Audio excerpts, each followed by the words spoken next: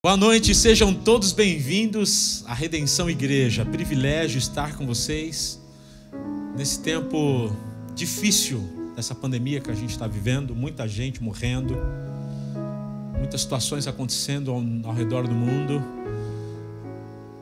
E nós precisamos, nesse tempo, nos achegar mais a Deus.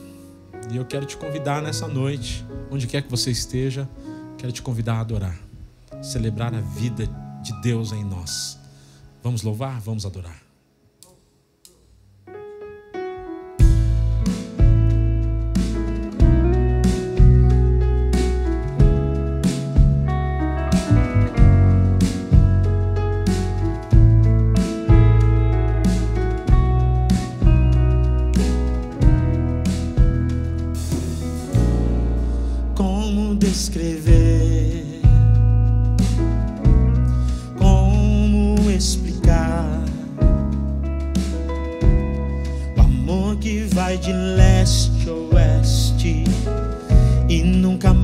Vai terminar. Tu me conheces bem, tu sabes quem eu sou. Não há como me esconder de ti. Sempre sabe onde estou.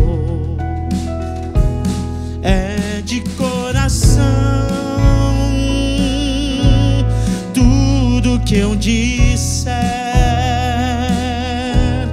Num hino de louvor a Jesus de Nazaré. Se as palavras não mostrarem como é grande a minha gratidão, mesmo assim, Senhor, recebe o meu louvor, de coração. Vamos no início novamente? Como descrever? Como descrever? Como explicar? O amor que vai de leste a oeste e nunca mais vai terminar. Tu me conheces bem, quem eu sou.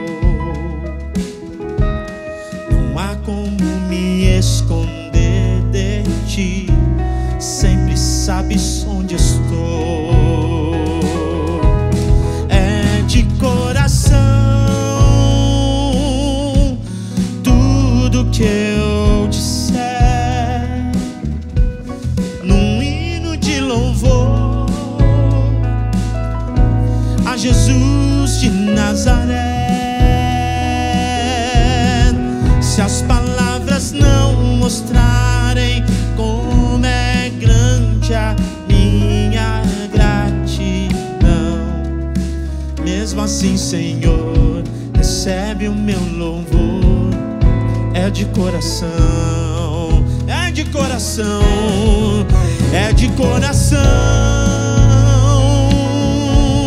Tudo que eu disser num hino de louvor a Jesus de Nazaré. Se as palavras mostrarem como é grande a minha gratidão, mesmo assim, Senhor, recebe o meu louvor, é de coração.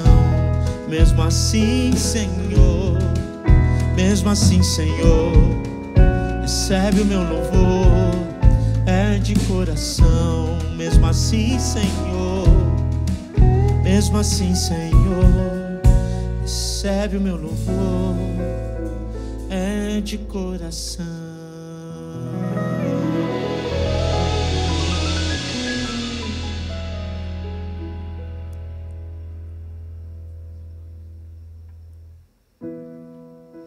Eu gosto muito dessa canção, eu cantei ela muitos anos da minha vida. E eu quis trazer neste momento de adoração novamente. Diz assim: este é o meu desejo, Senhor, te honrar. Com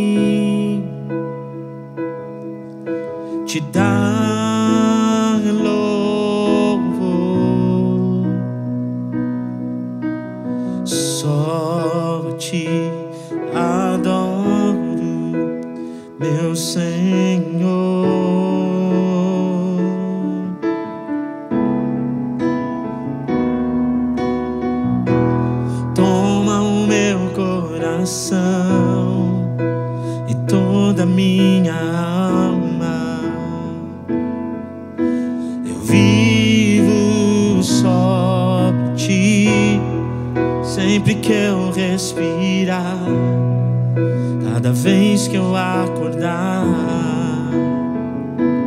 faz o teu querer em mim, toma o meu coração e toda a minha alma. Eu vivo só pra ti, sempre que eu respirar cada vez que eu acordar. teu querer em mim. Faz o teu querer em mim. Faz o teu querer em mim.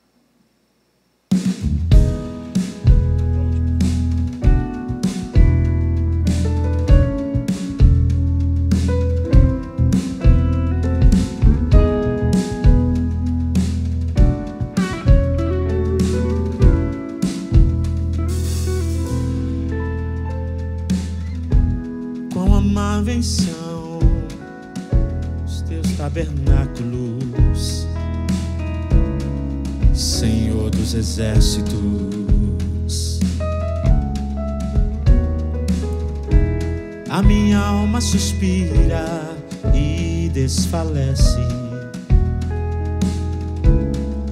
pelos teus átrios.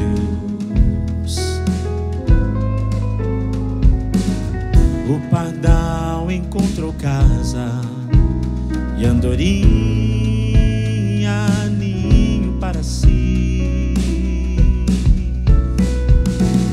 Eu encontrei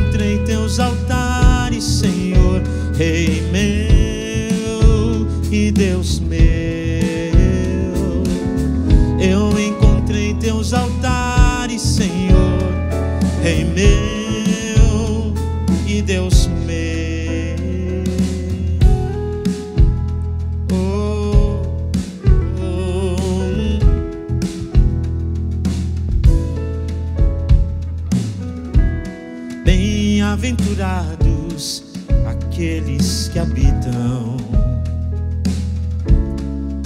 em tua casa.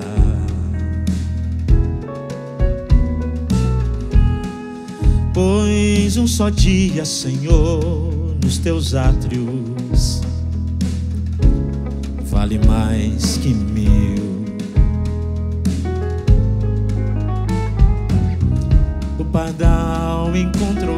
casa e andorinha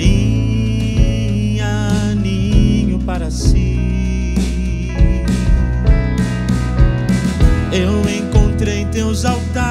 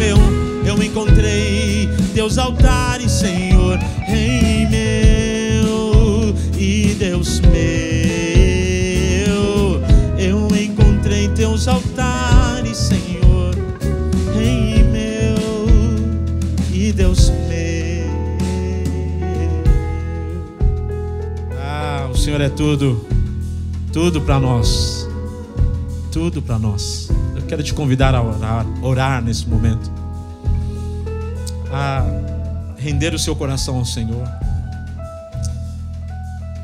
porque Ele é tudo, tudo, tudo para nós, tudo. Sem Deus eu não sou nada, sem Deus você não é nada. Então vamos orar. Pai, muito obrigado. Tu és maravilhoso, Senhor. Tu és poderoso. Tu és tudo, tudo para nós. Tudo, Senhor. Que alegria te louvar, que alegria te adorar. Presença gloriosa do Teu Espírito. Como é bom te louvar, Senhor.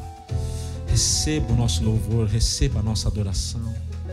Eu oro para que todas as pessoas sejam alcançadas pelo Teu favor, por Tua misericórdia, por Tua graça. Que todos sejam visitados, Pai, pela presença do Teu Espírito Santo.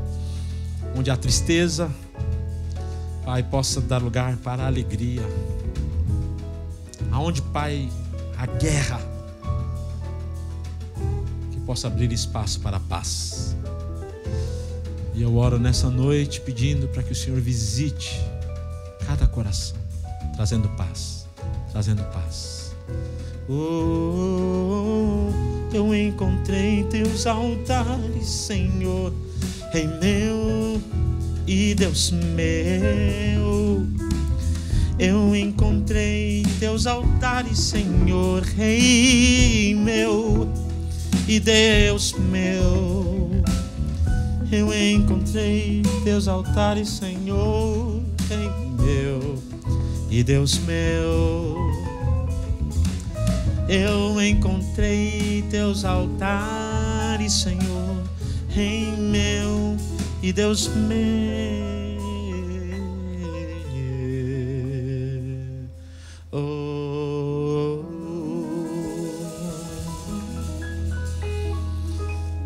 Quero fazer um convite muito especial a você. Quero te convidar a fazer parte de um sonho e de uma história e de um projeto lindíssimo, que é exatamente a plantação dessa nova igreja aqui na região da Paulista. Nós, como igreja, estamos na rua Augusta, número 2283, com a Alameda Franca 1109. Fica bem na esquina uma região muito, muito, muito especial, porque ali passa gente do mundo inteiro. E o pastor Eli, desde, desde sempre, tem compartilhado seu coração que ele quer fazer daquele espaço um lugar onde possa proclamar o nome de Jesus de diversas formas. Lá nós teremos um café, teremos um coworking, um espaço de eventos em cima e também a nossa igreja. Então, nesse lugar vai ser uma esquina onde vai proclamar esperança.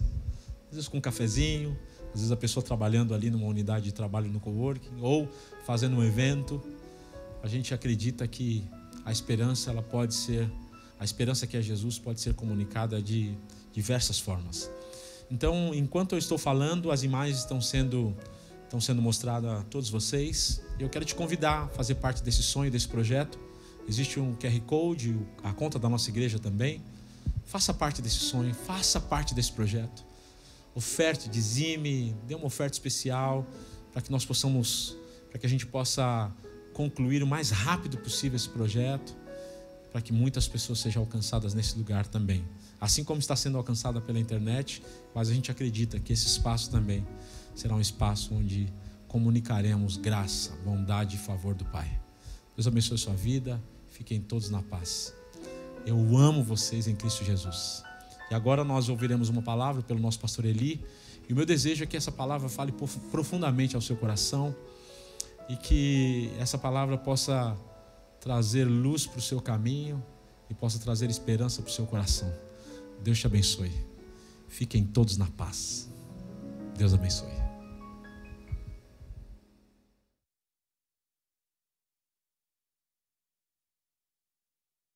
Eu quero nesse encontro de redenção, a ser muito grato a Deus por você estar perto de nós. E a razão de você estar perto de nós não é só você estar aí na TV Redenção, não é só essa razão, mas é porque o Espírito de Deus, o próprio Deus, está conosco. Está com você aí onde você está, com a sua família. E é um privilégio ter você perto de nós através desse canal, onde a gente tem podido conversar. E eu já tenho falado para você se comunicar com a gente, né? Nós estamos preparando não só o lugar que você viu para que você possa ser acolhido, mas estamos preparando projetos que possam falar com a nossa cidade. E, e eu sei que você é, quer e pode fazer parte disso. Um, um dos projetos que estamos trabalhando carinhosamente é o Projeto Redenção. Então, fica a minha palavra de nós podermos estar perto, mais perto, mais perto uns dos outros. Então, use os nossos canais de, de comunicação aí para entrar em contato, para falar conosco e com certeza nós vamos é, responder ao teu chamado e falar com você também. Que Deus abençoe a sua vida, a sua família, a sua jornada no meio de dias tão, tão, tão difíceis como esses dias que nós temos vivido texto que nós vamos ler hoje fala de um período bastante difícil para Israel. O reino da Síria está em alta e a Síria foi destruindo os reinos menores ao seu, ao seu redor. E Israel agora era, o Judá especificamente, era o seu alvo. As dez tribos de Israel já haviam sido exiladas pelos assírios e agora sobra o reino de Judá, que tem como rei o rei Ezequias. Eu queria convidar você para ler o texto que está aí ah, grafado para você poder acompanhar, que está em 2 Reis, capítulo 18, versículos de número 5 a 7.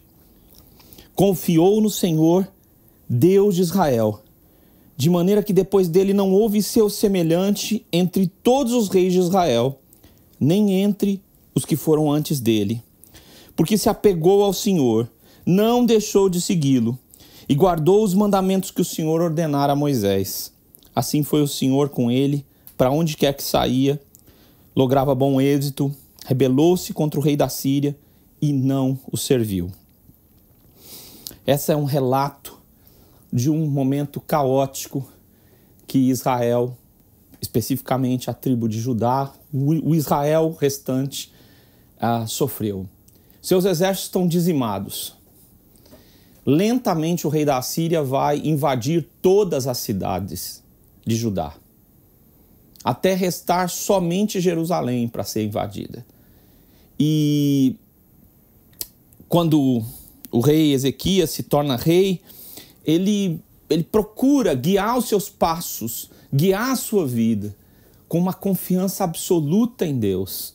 Uma confiança que a Bíblia destaca como uma confiança que que não existiu antes dele nem depois dele uma confiança tamanha em Deus. E o que é que nos faz é, olharmos para esse texto de uma forma tão especial? Eu queria pensar com você sobre a confiança que muda o mundo. A confiança que muda o mundo.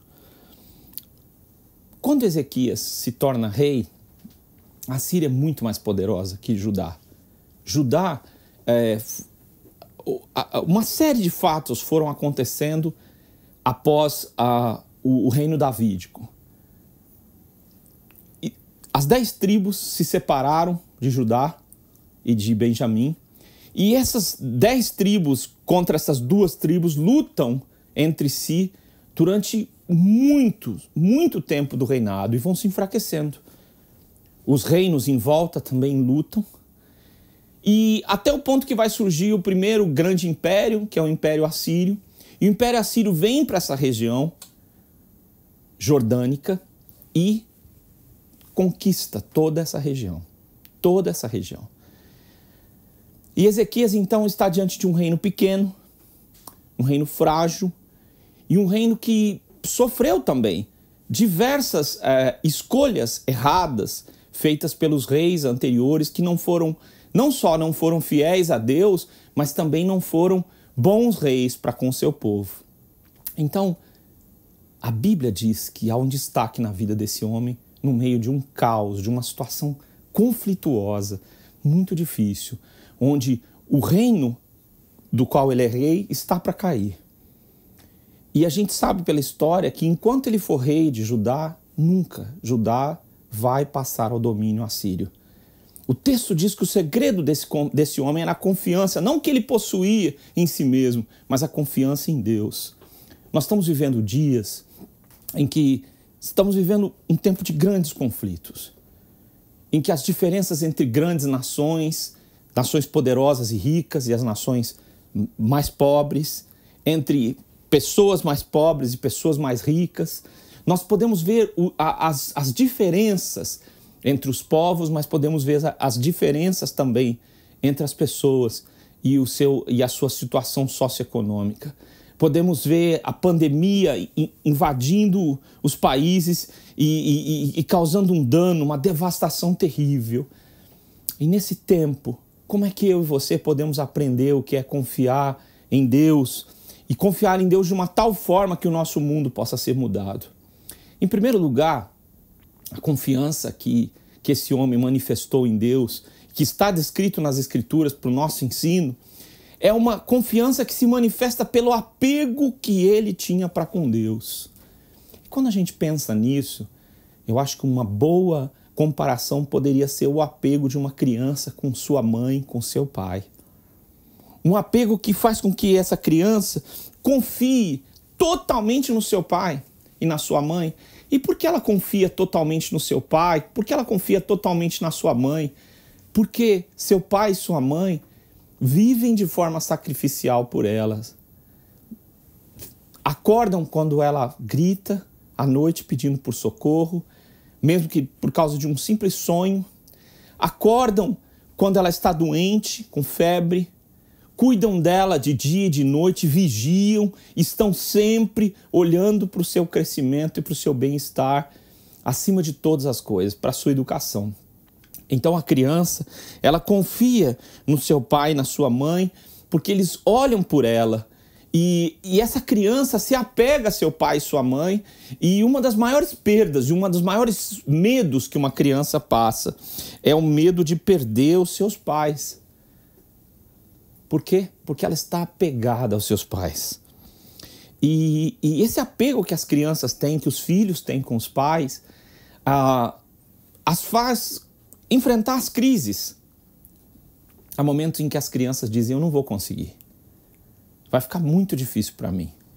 E basta que seu papai e sua mamãe sentem com o filhinho, com a filhinha, conversem com ela e digam: Nós confiamos em você, nós estamos com você. E aquela criança que estava vivendo uma crise de achar que não, não poderia voltar para a escola e estudar, volta a estudar e é bem sucedida. O medo. As crianças elas são acometidas por medo, assim como os adultos. E, e todas essas comparações que eu estou fazendo de como as crianças se apegam aos seus pais nos servem para exatamente pensar como vamos enfrentar nossa cri as nossas crises, como vamos enfrentar nossos medos. Basta que o papai, a mamãe entrem no quarto da criança, no lugar onde a criança está dormindo e o medo desaparece, porque elas estão acompanhadas agora por seu pai e por sua mãe. E essa, essa confiança de que seu papai e sua mamãe cuidam delas as fazem dormir tranquilamente. As incertezas, quando as crianças estão diante de incertezas, elas ficam de fato é, impacientes, incertas. Elas pensam que o mundo vai acabar, mas basta uma palavra de seus pais e diante das incertezas elas vão enfrentar, diante da fraqueza, quando elas não conseguem uh, de fato uh, resolver um problema grave aos seus olhos, porque são fracas para esse problema na sua escola, então seus pais vão ao seu encontro, dos seus inimigos mesmo, inimigos naturais como a enfermidade e outras tantas coisas. Basta que, que os seus pais, que o seu pai e sua mãe se aproximem. Então, as, a, aquele medo, aquele desconforto, aquela incerteza, aquele terror é tomado, é substituído por uma confiança e uma alegria instantânea. A Bíblia diz que Ezequias se apegou a Deus. E eu e você somos convidados nesse tempo tão difícil, tempo em que o nosso mundo precisa ser mudado, a nos apegarmos plenamente a Deus. Quando, quando Ezequias se apegou a Deus, ele se apegou a Deus diante da destruição do seu próprio mundo. O mundo que Ezequias concebia ia deixar de existir. Por quê? Porque a Síria tinham um domínio muito selvagem. Eles invadiam um território, pegavam os habitantes daquele território e o mandavam para um outro território conquistado e substituíam as pessoas para então fazerem o que? Uma dissolução cultural, para que as pessoas aprendessem a língua síria e então se tornassem é, súditos do Império Assírio. O mundo de Ezequias ia ser destruído. E, e ele tinha que lutar contra isso. E ele só tinha uma confiança que podia, de fato, sustentá-lo nesse momento: Deus. Há um momento em que o rei da Síria envia um dos seus emissários no portão, na, na, na porta de Jerusalém, dos muros de Jerusalém, para dizer quem é o Deus, quem é que Ezequias, que, que, que quer que vocês acreditem que ele pode enfrentar o rei da Síria. E nesses momentos tão difíceis, onde parece que a destruição é mais forte do que nós. Não sei se você já passou um momento, você que está me ouvindo nessa, nessa meditação, em que parece que aquilo que você é capaz de construir, as circunstâncias, elas são mais poderosas do que você para destruir. E a destruição parece ser mais forte do que você. Sabe? O mundo de Ezequias ia deixar de existir. E ele confiou em Deus e se apegou a Deus para que esse mundo, daquilo que ele cria e daquilo que ele esperava, da sua esperança, pudesse continuar vivo pela graça de Deus. A cidade que Ezequias conhecia ia deixar de existir. Nós temos visto situações muito difíceis no nosso país. Nós temos visto pessoas negando, de fato, que existe uma pandemia Uh, houve muitas pessoas questionando sobre a, a, abrangência dessa pandemia e o que ela é capaz de fazer. Mas eu espero que você já tenha visto que essa pandemia ela é mortal para muitas pessoas. Nós não, não temos controle, a medicina não tem total conhecimento, mas já há um conhecimento que é dos nossos avós, dos nossos tataravós, que as vacinas salvam. Por isso, recomendo a você que se vacine mas recomendo mais ainda que você se apegue em Deus, porque nós temos visto uma coisa muito terrível nas nossas cidades: o desamparo de muitas pessoas morrendo sem ar por causa da Covid e por causa da falta de estrutura do nosso Estado para cuidar das necessidades do nosso povo. Tudo isso nos assusta e nós começamos a pensar como é que o mundo pode ser mudado. E eu quero te dizer uma coisa muito, muito louca nesse tempo. E louca porque o evangelho é louco. Eu quero te dizer que não é só a política que pode mudar o nosso mundo e mudar a nossa cidade. Eu e você somos chamados a nos apegarmos a Deus para sermos instrumentos de transformação na cidade. Para aqueles que sofrem, para os que estão à margem, para os velhinhos, porque Deus está conosco. Essa é só a razão por que nós podemos ser instrumentos de transformação. E as grandes transformações no mundo têm acontecido através de pessoas comuns, como eu e você, que podemos desenvolver nossa missão como gente que serve a Deus e que anda com Deus para mudar a cidade.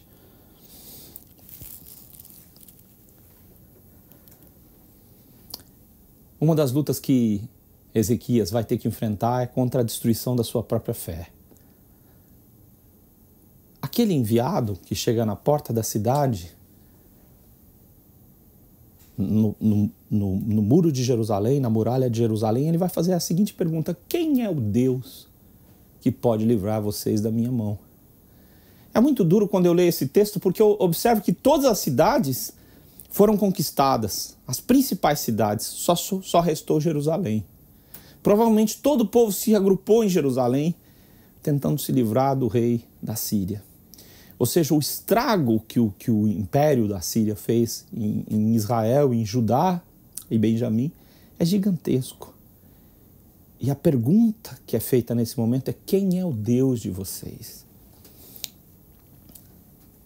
Nem sempre pessoas que caminham com Deus conseguem manter-se caminhando com Deus. Elas se desapegam em algum momento porque as circunstâncias são muito difíceis porque os reveses são muito difíceis, porque as coisas não andaram como, como deveriam andar. E as pessoas elas começam a passar por um caminho que a destruição da sua fé, da sua confiança em Deus se faz porque as circunstâncias não foram favoráveis. Mas não é isso que o texto diz. O texto diz que Ezequias se apegou a Deus de uma tal maneira que ele viu a conservação da sua fé e como nós sabemos historicamente, nunca a Síria conquistou Jerusalém, porque Deus estava com Ezequias. Mas a relação de Ezequias, o seu relacionamento com Deus, o que eu acho mais interessante é que esse apego a Deus elevou a relação que Ezequias tinha para com Deus a um outro patamar que não existia antes. Porque Deus passou a ser o mais importante. ele dizia pelas ruas de Jerusalém: confie em Deus. Ele vai guardar o seu povo. Nenhum reino antes teve que usar essas expressões com tal intensidade. Davi era um guerreiro, um conquistador. Salomão era um, um rei sábio e muito poderoso, porque sucedeu Davi. Eles não precisaram confiar, eles precisaram confiar em Deus, mas eles também podiam confiar em outra, em outras, em armamento, é, em outras coisas que os rodearam. Josafá tinha um, um exército de mais de um milhão de homens. Ele podia confiar em Deus, mas podia confiar no seu exército também. Ezequias só pode confiar em Deus. E ele se apegou a Deus de uma tal forma que ele aprendeu a confiar em Deus absolutamente e entendeu que a última palavra vem de Deus. E é isso que ele ensinou para o seu povo. A última palavra vem de Deus. Quero dizer para você que está me ouvindo nessa mensagem, nessa meditação e que recebeu um diagnóstico terrível para a sua enfermidade. Quero te dizer que a sua vida pertence a Deus. Se Deus permitir, você vai viver, mesmo que o, que o médico diga que não vai. E você já sabe que a minha opinião é ouvir a classe médica, sem dúvida nenhuma, ouvir a ciência. Mas o que eu estou dizendo hoje é que Deus está acima de tudo. E Ele pode tudo. E quando Ele quiser curar alguém, salvar alguém, Ele vai salvar, porque a última palavra vem dele. Creia nisso. A situação de Judá era um caos. Mas quando a gente se apega a Deus, uma das coisas que a gente aprende é que Deus recria a nossa história no meio do caos. Então, se hoje você está se sentindo aí na sua casa de uma forma caótica, creia que Deus recria a sua vida no meio do caos. Por quê? Porque o amor de Deus é que pode tornar novas todas as coisas. E Ezequias aprendeu isso na sua maneira como ele se apegou a Deus. Ele se apegou a Deus, diz o texto, de forma que confiou em Deus e se apegou a Deus, e diz o texto, e não deixou de segui-lo. A segunda coisa que eu quero te dizer sobre essa confiança que muda o mundo é que a vida desse homem manifesta uma fiel perseverança. No cenário de destruição onde ele estava, de violência, que era a maneira como os assírios conquistavam, de dissolução da sociedade, do exílio das, das tribos de Israel, onde agora a Judá era um, um grupo pequeno de, de, de, de, homens, muito menor do que o, o nosso país, muito menor do que, com certeza, a cidade de São Paulo um grupo pequeno. Ele era um rei fraco diante de tudo que já tinha acontecido na, na, na, na nação de Israel. Mas a disposição de Ezequias era diferente. E essa disposição dele era não deixar de seguir a Deus. O que é seguir alguém? Quando você pretende seguir alguém, você precisa manter essa pessoa na sua frente, você precisa se esforçar para acompanhá-la onde quer que ela vá. E você, de certa forma, precisa ter a mesma cadência que ela. Se você estiver seguindo, andando, correndo, é, pedalando, nadando, de que forma você for, você precisa ter, ter um procedimento parecido com esse para seguir alguém.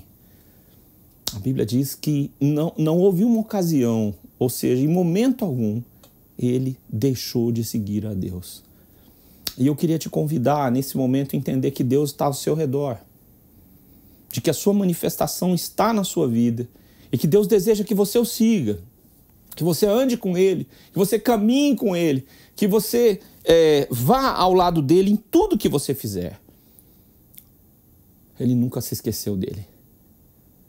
Em momento algum, Ezequias deixou de confiar em Deus, diz o texto das Escrituras, em que ele se apegou a Deus de tal maneira em que ele fielmente perseverou em estar ao lado de Deus em qualquer circunstância. Ele prosseguiu dessa maneira nos caminhos de fé que ele trilhou, ensinando seu povo a continuar confiando em Deus quando as circunstâncias ao redor eram muito difíceis, quando reconstruir ou continuar lutando contra a dominação assíria parecia ser impossível. Era um caminho de fé, ele precisava caminhar com fé. E eu e você somos chamados a uma vida de fé. Não seguir a Deus, perseverar em seguir a Deus é viver uma vida de fé, em que o que ele tem reservado para mim e para você é que nos guia. E há momentos em que não há caminhos em que a expectativa nossa é ouvir novas notícias. Mas se você segue a Deus, a sua expectativa é o que Deus tem preparado para você, a sua confiança de que Ele reina e de que Ele pode. Há momentos em que não havia esperança. Toda esperança que Ezequias pudesse ter havia se dissipado. Há um momento em que o exército dele não tem condição alguma de enfrentar os assírios. E a Bíblia diz que é, Deus vai enviar uma praga contra os assírios e eles não vão conseguir invadir, é, não vão conseguir invadir Jerusalém de forma nenhuma. A, mão do Senhor vai, vai estará contra eles. E a Bíblia diz que dessa maneira, como ele foi fiel, perseverante em seguir a Deus, Deus andou com ele. Deus foi com ele em tudo que ele fez. E quando a Bíblia usa a expressão que Deus foi com ele, nós podemos entender que tudo que ele fez passou a ser uma ação divina, uma ação de Deus. Como ele estava apegado a Deus, andando com Deus, ele, ele começou a tudo que ele fazia, Deus estava fazendo com ele. Onde quer que ele fosse, não havia um lugar onde Deus não estivesse. Em tudo que ele desejou, em todos os seus planos. E acima de tudo, quando ele precisou de refúgio, de abrigo, Deus foi para ele o abrigo e a segurança que ele precisava. Quero te dizer que eu e você somos convidados nesse momento a cantar uma canção no meio dos nossos sofrimentos e das nossas lutas. Uma canção que está sendo ouvida por Deus, que está sendo é, observada por Deus e que de verdade será atendida por Deus pelo seu amor. Mas eu e você somos convidados a fielmente perseverarmos em confiar em Deus. Absolutamente. Por fim, o texto nos diz sobre duas das, duas das, das direções que moveram o coração de Ezequias: a palavra e o coração. Diz o texto que ele se apegou a palavra, a lei, ao mandamento, às ordens que Deus deu a Moisés. E quando ele diz isso, faz referência às Escrituras. E talvez você que está me ouvindo conhece muito das Escrituras, já leu algumas vezes. Talvez você seja de uma igreja ou, ou foi de uma igreja e, e, cresceu lendo a Bíblia, ouvindo mensagens da Bíblia. Talvez você seja alguém que assiste mensagens na TV, na internet e tem um conhecimento relativamente grande sobre as Escrituras. Mas eu queria te dizer uma coisa muito importante. É que quando o texto fala sobre o apego que Ezequias tinha para com Deus e com as Escrituras, eu quero dizer que essas Escrituras, que são a palavra de Deus, aquilo que Deus diz, estavam no coração dele e não simplesmente é, como normas externas. Só a palavra de Deus que penetra o coração humano e é aceito no coração humano pode gerar uma conversão, uma mudança de rumos e de caminhos. É o momento em que nós entregamos tudo a Deus e podemos dizer: guardo no coração as tuas palavras para eu não errar, não pecar contra ti. É quando a palavra de Deus entra no coração, é que surgem dimensões novas da religião, da espiritualidade. Há uma dimensão, e eu estou usando a palavra religião como do verbo religio, religare, né? De ligar novamente, Existe uma dimensão mera do conhecimento e você pode manter essa dimensão que é ter um conhecimento sobre as coisas de Deus. Mas manter esse conhecimento como algo que pode guiar você guiar de uma forma filosófica. Você pode filosoficamente estar convencido de que o universo foi criado por um ser supremo. Mas isso pode não mudar de forma nenhuma a sua vida. Você pode até acreditar na pessoa de Jesus, nos ensinos dele. Você pode até acreditar, é, de fato, que a, a fé cristã ela pode mudar o mundo socialmente, se ela for vivida. Mas você pode ser um possuidor de uma crença superficial. Guardar, segundo o texto, é ter no coração. Ter no coração é ter dentro de nós, na sede da nossa vontade, das nossas emoções, uma relação profunda com o que Deus diz para nós. Não com o que Deus disse para outras pessoas, mas entender que Deus disse para nós. Quando eu compreendo que Jesus morreu por Eli Moreira, que a razão de Jesus ter sido crucificado foi Eli Moreira, não foi o mundo, mas fui eu. Quando eu digo isso e eu reconheço isso, eu compreendo que Deus me amou. E a Bíblia diz que em tudo que Ezequias fez, ele foi bem sucedido. Existe uma religião nos nossos dias prometendo sucesso, dizendo para as pessoas que elas vão ser bem sucedidas, que tudo que elas fizerem vai prosperar. E o texto nos diz que Ezequias foi bem sucedido. Aonde que ele ia, para onde ele saía. E o texto nos diz algumas coisas que nos explicam de verdade o que é ser bem-sucedido, o que é prosperar para com Deus. Em primeiro lugar, nesse momento já deve ter ficado claro para você que a palavra e o coração, a palavra no coração, a palavra de Deus no nosso coração, ela é de fato o sucesso da vida de um homem. É quando de verdade a fé não é mais algo só de raciocínio, fruto de uma filosofia, mas é de verdade um estilo de vida, uma maneira de ser, onde Deus está agindo na nossa vida.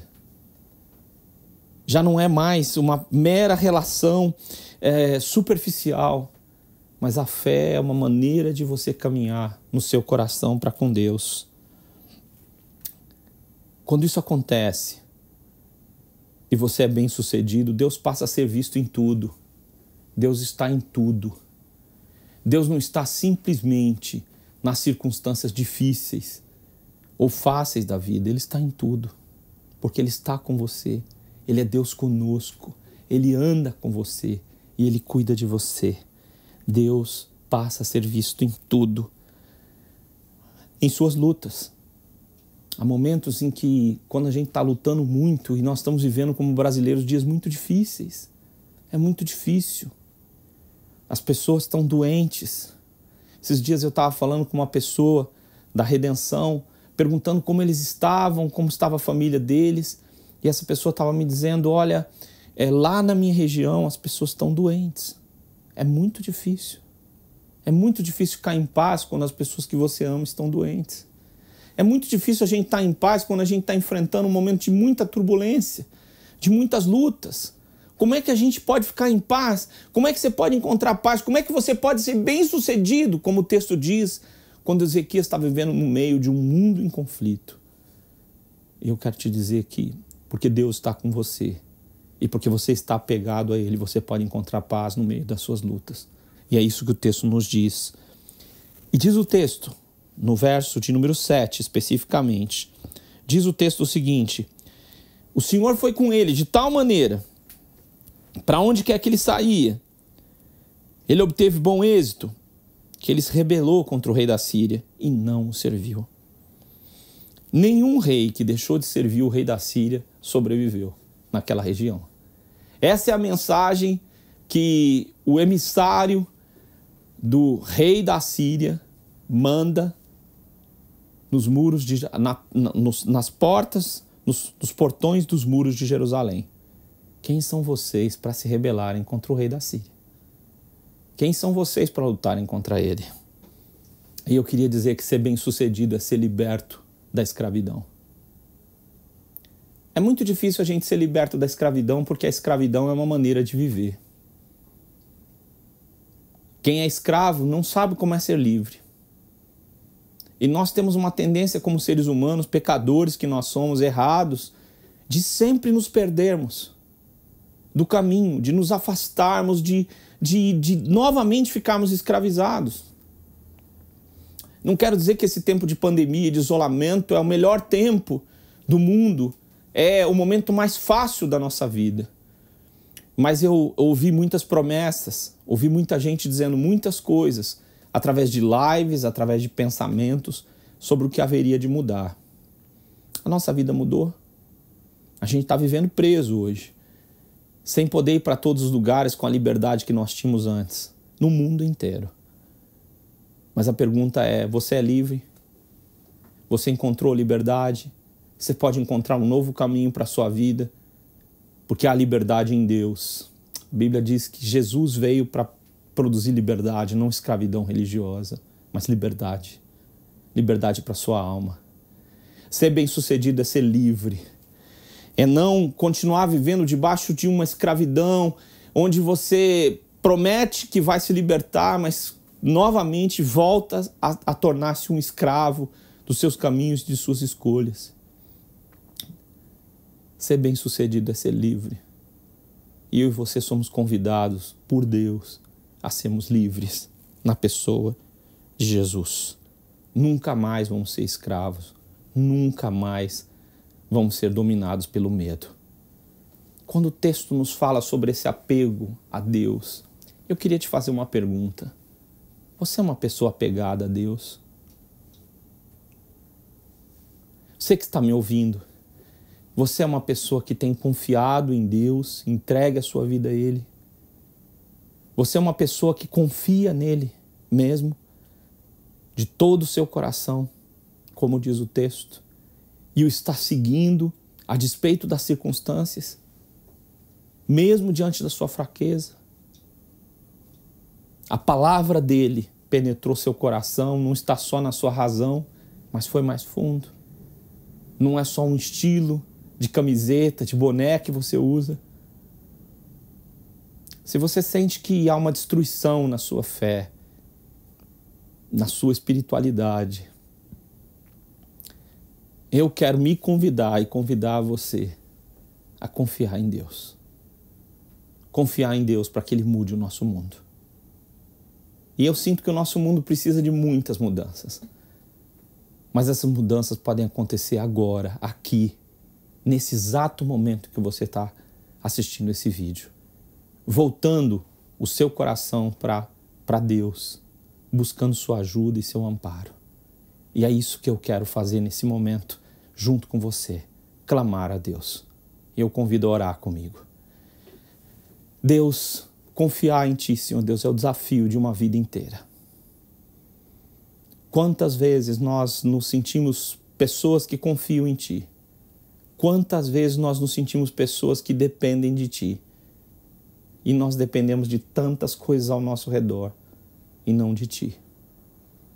Pai, que cada pessoa que está ouvindo essa mensagem e está dizendo amém, assim seja, para essa oração, que o Senhor seja com ele, Pai, com ela, para que eles possam, para que nós possamos nos apegar a Ti, de verdade, por quem o Senhor é, e não porque o Senhor vai nos favorecer, nos apegar a Ti por causa do Teu imenso amor, que agora habita em nós e retorna a Ti. Muda a nossa sorte, Senhor. Muda a direção da nossa vida. Muda o nosso mundo, Pai. Enquanto nós depositamos toda a nossa confiança no Senhor. Em nome de Jesus é que nós oramos. E agora que a graça de nosso Senhor e Salvador Jesus Cristo, que o amor de Deus o Pai e as consolações do Espírito Santo venham sobre vocês, de tal maneira que vocês confiem a vida de vocês inteiramente a Deus, hoje e para todos sempre. Amém. Quero, de fato, esperar em Deus, desejar que possamos estar próximos e que você possa confiar a sua vida a Deus durante essa semana que você possa se apegar a Ele e que você possa observar a ação sobrenatural de Deus sobre a sua vida. através do seu amor por você, na sua jornada, nesses dias tão difíceis. Deus a abençoe, Deus o abençoe. Que seja uma semana abençoada e que possamos nos ver em breve aqui no nosso canal da Redenção TV. Fique com Deus.